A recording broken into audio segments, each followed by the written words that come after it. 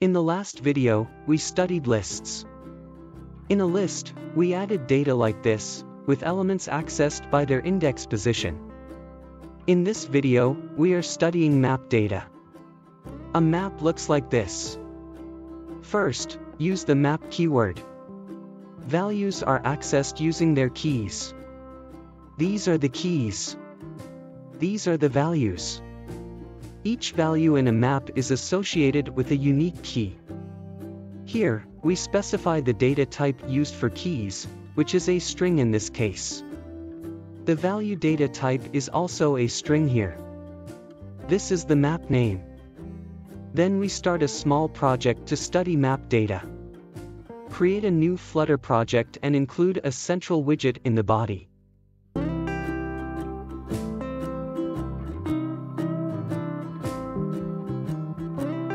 Next, create a new Flutter file for displaying map data. Name the file studentscores.dart.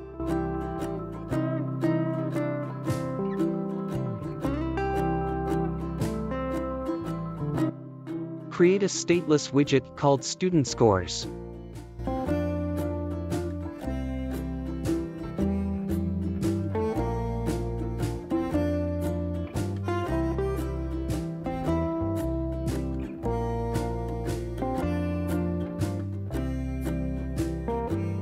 Then, we declare a map.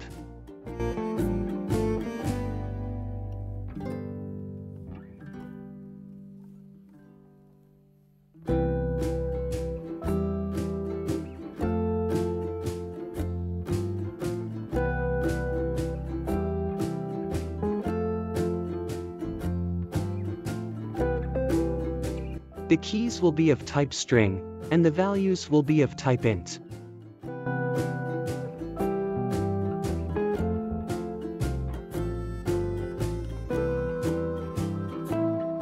The variable name is student scores.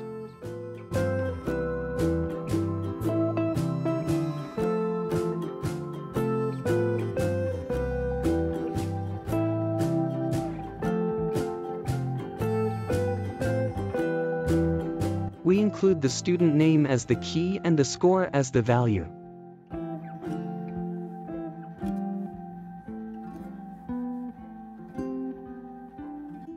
Add additional data separated by commas.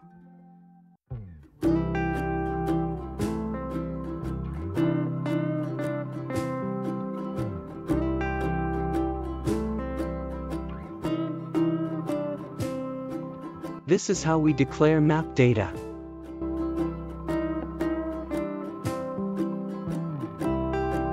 Then, return a scaffold inside the build function. Next, create an app bar for displaying the title text.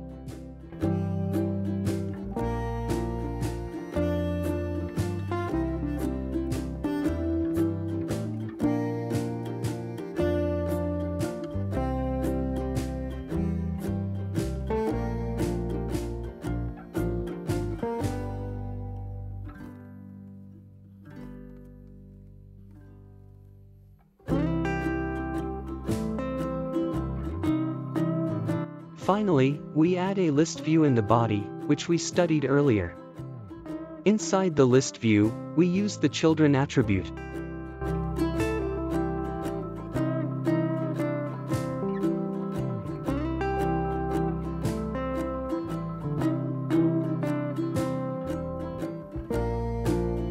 Use the map variable student scores to fetch the data, studentscores.entries.map.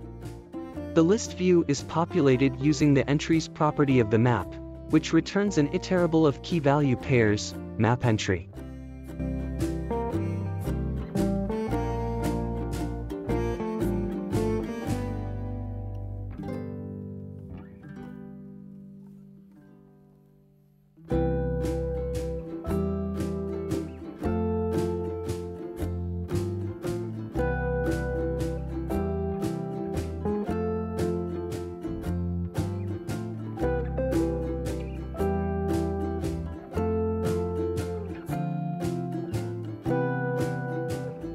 We map each map entry to a list tile widget, displaying the student name as the title and the score as the subtitle.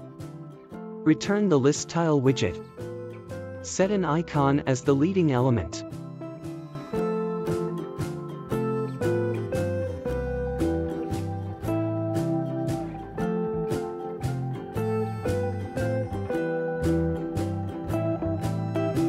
Set the key, the student name, as the title.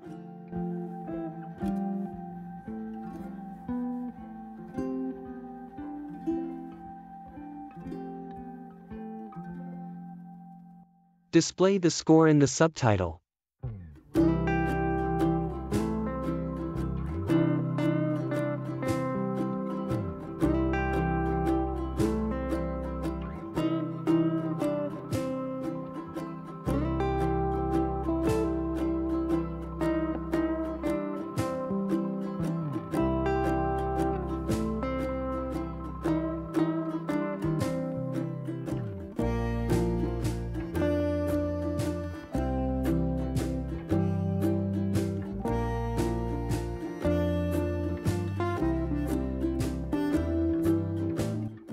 Next, open main.dart and include the student scores.dart file. Call the student scores widget inside the center widget.